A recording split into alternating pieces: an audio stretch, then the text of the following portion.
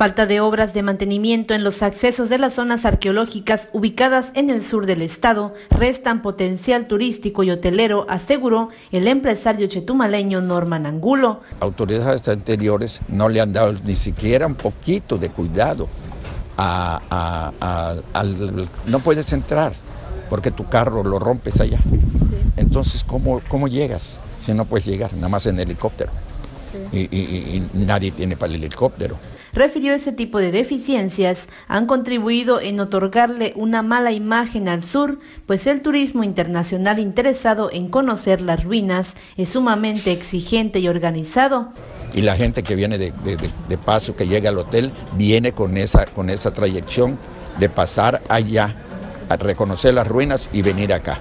Los gringos alemanes y los suizos que nos honran están tan bien programados que ellos viajan ocho horas y en las ocho horas saliendo de Cancún, saliendo de Cancún conocen todas las ruinas y llegan a las ocho horas aquí a Chetumal y ya conocieron todo, pero porque hay las, los medios de cómo, de cómo llegar Lamentó el que los accesos a las zonas cada día se vuelvan más intransitables, pues son lugares considerados como altamente atractivos para el turismo.